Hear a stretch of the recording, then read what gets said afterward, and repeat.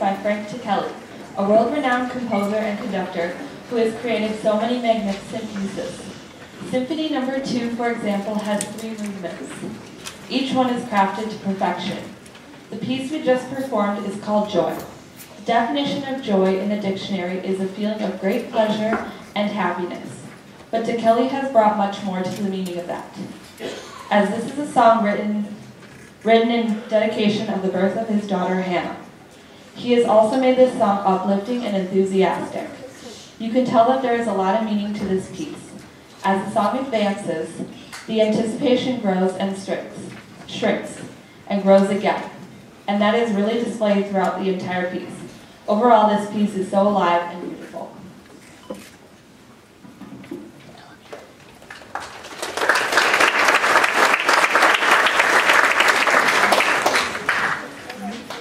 The next piece was written by composer Steven Bryant. He is an active composer and conductor and writes music for all types of groups.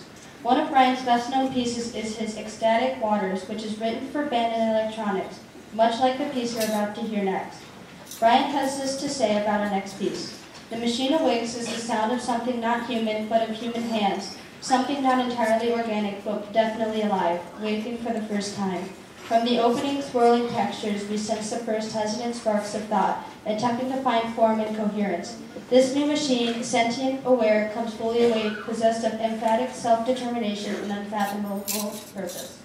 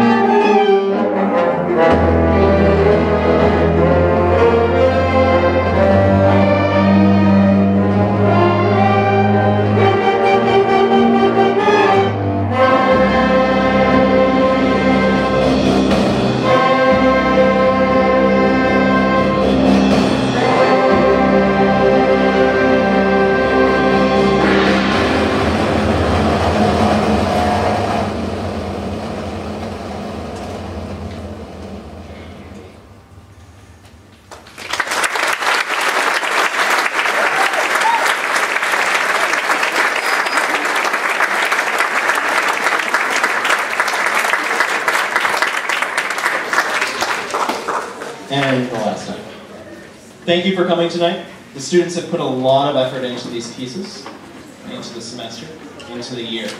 I hope you can definitely hear their growth and convince them that it's there. Sometimes they're hard on themselves, but it is definitely there. They are wonderful students. Thank you for lending them to me to teach. And then I will turn over the microphone to Eliana, and this is the last year of your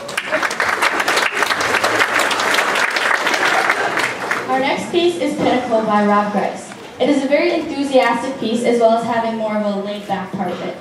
It is the perfect combination to create a happy song. It is a tune that will get stuck in your head quite easily. Grice is fantastic at creating different moods and characteristics. A good example of this is another song he wrote called Hunter's Mountain. It portrays steadiness and hard work while Pinnacle is like a vacation, relaxed, energetic, and lively. Enjoy Pinnacle by Rob Grice.